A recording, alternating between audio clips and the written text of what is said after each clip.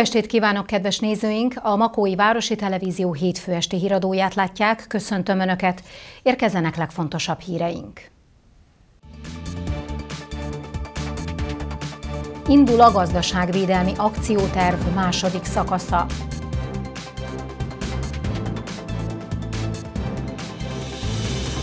Mától díjmentes a közterületi parkolás. Nem állnak meg a már folyamatban lévő beruházások Makón. A veszélyhelyzet 26. napján a legfőbb küldetésnek az emberi életek mentését és a jövőről való gondoskodást tartja a legfontosabbnak Orbán Viktor, hangzott el mai sajtótájékoztatóján. Ezért úgy kell folytatni a már megkezdett gazdaságvédelmi akciótervet, hogy minél hamarabb túl lehessünk az előttünk álló nehéz időszakon. A mai nappal ennek a stratégiának a második szakasza indul el, mely öt fő és több alprogramot tartalmaz, tájékoztatott a miniszterelnök. Tíz év kemény munkájával felálltunk, de most igazságtalan helyzetbe kerültünk, hiszen a koronavírus komoly veszélybe sodorta mindazt, amiért megdolgoztunk, hangsúlyozta Orbán Viktor. A kormányfő elmondta, hogy egyszerre kell megküzdeni a járványjal és a gazdasági kihívásokkal. A cél, hogy amennyi munkahelyet a vírus tönkretesz, annyi munkahelyet hozzunk létre. Három ütemben hajtják végre a gazdaságvédelmi akciótervet. Az első ütemben az eddig meghozott intézkedések tartoznak, amelyről már korábban beszámoltunk. Ma elindul a második szakasz, amely öt fő programot tartalmaz. Programunk a munkahely megőrzés. Itt a rövidített munkavégzés esetén készen állunk arra, hogy átvállaljuk a munkaadóktól a bérköltségek egy részét. Ez a bértámogatásnak egy speciális magyar formája lesz. Második programunk a munkahelyteremtés. Itt beruházásokat fogunk támogatni, mindösszesen mintegy 450 milliárd forint értékben.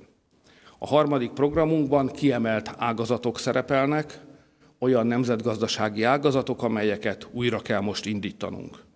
Ilyen a turizmus, az egészségipar, az élelmiszeripar, a mezőgazdaság, az építőipar, a logisztika, a közlekedés, a film és a kreatív ipar. A negyedik programunk a vállalatok finanszírozása. Itt kamat és garancia támogatott hiteleket biztosítunk magyar vállalkozásoknak, mindösszesen több mint 2000 milliárd forint értékben. És végül az ötödik ma meginduló programunk a Család és Nyugdíjas Védelem program nevet viseli. Amiből most kiemelek itt egyet, az a legfontosabb, visszaépítjük a 13. havi nyugdíjat. A kormányfő közölte, Palkovics László innovációs és technológiai minisztert arra kérte, hogy az egész program koordinálását, irányítását végezze. Emellett folytatta, Mager Andrea a nemzeti vagyonkezelésért felelős miniszter feladata, hogy az állami vállalatokat lendületbe hozza és bekapcsolja a gazdaságvédelmi akciótervbe. Varga Mihály pénzügyminiszter munkája pedig biztosítsa a szükséges forrásokat és garantálja a költségvetési fegyelmet. Nehéz időket élünk, de láthatják, egyetlen magyar sincs egyedül, sikerülni fog, ha vigyázunk egymásra, tette hozzá Orbán Viktor. 744 főre nőtt a beazonosított fertőzöttek száma, és elhunyt újabb négy idős krónikus beteg. Az elmúlt napokban több intézkedést is tett a kormány a járványügyi helyzet kezelése érdekében, így mától az egész országban ingyenes a közterületen a parkolás, valamint járványügyi és gazdaságvédelmi alapot is létrehoztak. Újabb magyar állampolgároknál mutatták ki a koronavírus fertőzést, ezzel hazánkban a ma délelőtti adatok szerint 744 főre nőtt a koronavírussal beazonosított fertőzöttek, 38-ra pedig az elhunytak száma, 67 személyt viszont gyógyultnak nyilvánítottak. Csongrád megyében 32 megbetegedést jegyeznek. Még mindig a csoportos megbetegedések szakaszában van a vírus terjedése, mondta el Müller Cecília országos tiszti főorvosa az operatív törzs hétvégi sajtótájékoztatóján, ahol továbbra is arra kérik a lakosságot, hogy aki csak teheti, maradjon otthon. A kormány számos intézkedéséről számolt be Gulyás Gergely miniszterelnökséget vezető miniszter a szombati online kormányinfon. Mint kiderült, a költségvetés alapvető átrendezéséről döntöttek, létrehozták a járvány elleni védekezés alapját, és a mai nappal, mint a fentiekben beszámoltunk róla, elindult a gazdaságvédelmi akcióterv második szakasza. Az eredményes védekezéshez szükséges források biztosítása érdekében a kormány jelentős átcsoportosításokat hajt végre, végre, és közös teherviselésre kötelez másokat is, így a politikai pártokat, a multinacionális kereskedelmi láncokat, a bankokat és az önkormányzatokat is. A helyi önkormányzatok tól a gépjármű adó központi költségvetésbe átirányított részét, a multinacionális üzletláncok adóját, valamint a bankoktól beszedett hozzájárulást, akkor így összességében 663 milliárd forintot tudunk biztosítani.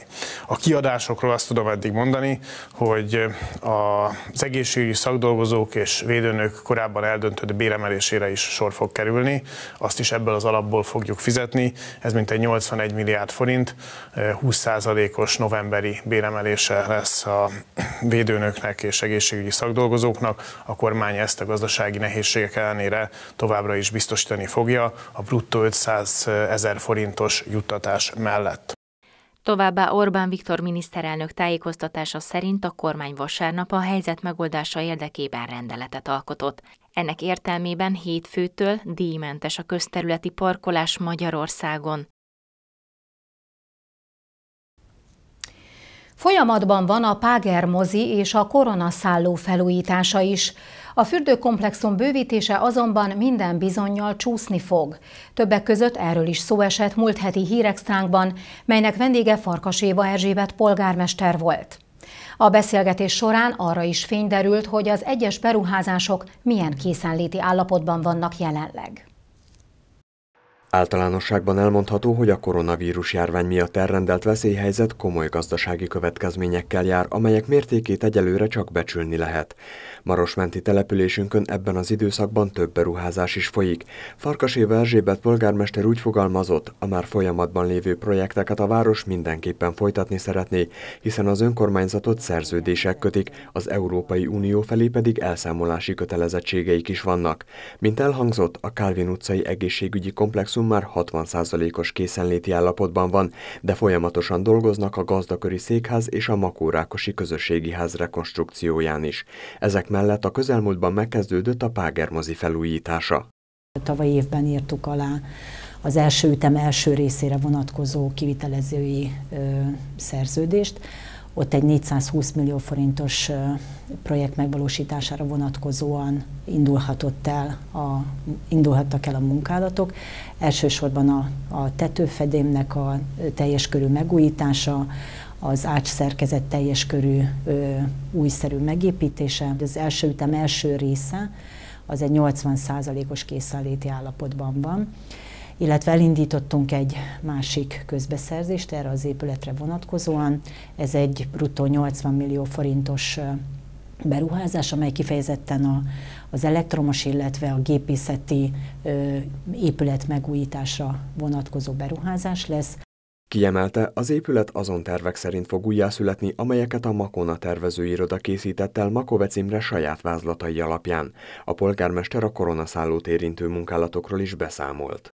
Itt egy 340 négyzetméter hasznos alapterületű beruházás valósul meg, Ebből 240 négyzetméter egy olyan nagy közösségi térnek a kialakítása, ahol civil szervezetek csoportműködését szeretnénk megvalósítani az elkövetkezendő időszakban. Ehhez a beruházáshoz egyébként kiszolgáló helyiségeknek a teljes körű megújítására is sor kerül, és tulajdonképpen az egész emeleti szányrész megújulhat ennek a projektnek köszönhetően. Ez egy bruttó 137 millió forintos beruházás, amelynek március végén írtuk alá a kivitelezői szerződést, és 90 napos határidővel kell, hogy elkészüljön.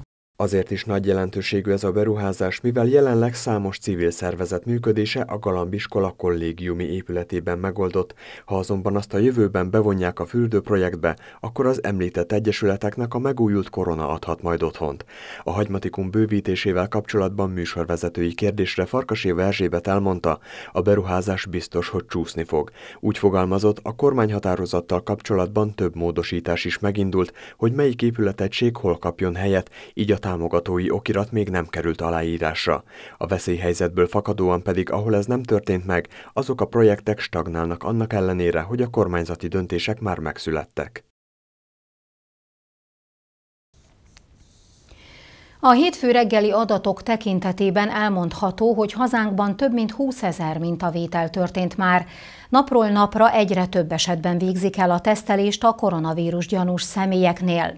A témával kapcsolatban felkerestük dr. Canik Sarolt a házi gyermekorvost. A szakember arra hívta fel a figyelmet, hogy amennyiben valaki úgy véli, elkaphatta a betegséget, maradjon otthon és telefonon értekezzen házi orvosával. A Népegészségügyi Központban és több kijelölt laboratóriumban vizsgálják az orr és garatnyálka hátjáról vett mintákat. Az Országos Mentőszolgálat a közelmúltban közzétett egy videót, melyben részletesen be is mutatják, hogy hogyan zajlik a teszt elvégzésének folyamata. A vírus miatt a következő tünetek jelentkezhetnek a fertőzöttnek vélt személyeknél. Felső légúti hurutos tünetekkel járó betegség, ami magas lázzal szokott társulni, ilyen szempontból hasonlít az influenzához, mégis talán kicsit más attól, a beszámolók szerint sokkal sűrűbb, tapadósabb a váladék, amit ilyenkor a betegnek fel kellene köhögni. Ez okozza a nehézséget, a légszomjat, a szapora, légvételeket és a fulladással járó rossz közérzetet. Ritkább esetekben hányás, hasmenés, hasfájás, fejfájás, egyéb tünetek is jelentkezhetnek, bár a fejfájás az a magas láznak általában kísérő tünete lehet, és a hányinger is főleg kisebb korban. Amennyiben valaki úgy érzi, hogy ilyen tüneteket produkál, fontos, hogy ne jelenjen meg személyesen a rendelőben. Mindenképpen konzultáljon telefonon házi orvosával. A szakember részletesen kikérdezi majd, gyanú esetén a következő intézkedésekre kerül sor. Fel kell hívni a járványügyi szakembert, ugye a járási hivatalt, és akkor ők eldöntik, hogy kell-e mintavétel.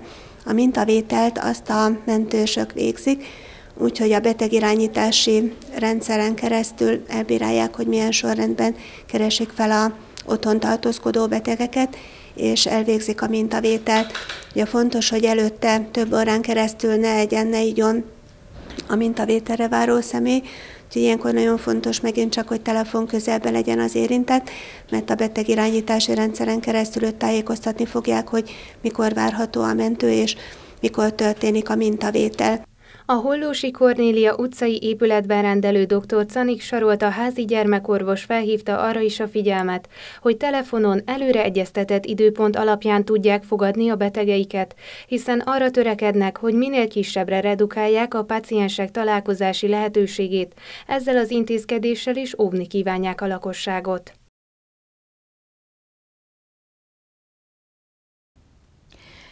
Általánosságban elmondható, hogy a nagybőjtött napjainkban már nem jellemzik olyan szigorú szabályok, mint egykoron.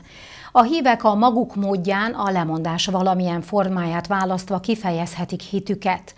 Ennek kapcsán nem régiben ellátogattunk a Makói horvát családhoz, ahol az egyszerűségben és az együtt töltött pillanatokban látják ezen időszak kulcsát. Őrizd életünk minden nap! Közös, szeretetteljes percek, melyek egy házból otthont varázsolnak. Mindennek szemtanúi lehetünk a forgatás alkalmával. A horvát családba öt gyerkőc érkezett, Bulcsú, Boglárka, Levéd, Álmos és Boróka. Szerintem azért jó nagy családban élni, mert hát a kirándulások. Nagyon sokan megyünk, és elképzelhetetlen lenne, hogy én ott egyedül mennék anyával és apával. Vegyünk egy példát, ha mondjuk nem jön velünk levéd egy kirándulásra, nem élünk át annyi kalandot, nem mutat meg nekünk dolgokat, mondjuk én sem vennék olyan sok mindent észre. Az édesanyja Bea férjével egyetemben, gyermekei nevelésében fontosnak tartja, hogy megismertesse velük vallási és kulturális örökségünket. A görög katolikusok számára nem honvazó szerdával, hanem tiszta hétfővel kezdődik a húsvétot megelőző nagybőjt. Az ételeket tekintve szerdánként és péntekenként nem fogyasztanak húst, vagy csak nagyon keveset. Van, hogy az asztalra krumplisfánk vagy éppen puliszka kerül. Ennek az időszaknak a lényegét az egyszerűségben látják, és arra törekednek, hogy felfedezzék az igazán értékes dolgokat a mindennapokban. A jót vegyék észre, a jót lássák meg mindenkiben, úton, útfélen tényleg, mert hogyha a jó koncentrálunk, akkor azt tovább lehet erősíteni. És nyilván ezekben a, a, a bőti napokban is ezt igyekszem erősíteni. A lelki töltekezés egyik forrása számukra a közös időtöltés. Ilyenkor előkerül egy-egy társasjáték és jó beszélgetések, nevetések közepette telnek az órák. Most pedig lássuk legfontosabb híreinket, még egyszer röviden. Indul a gazdaságvédelmi akcióterv második szakasza.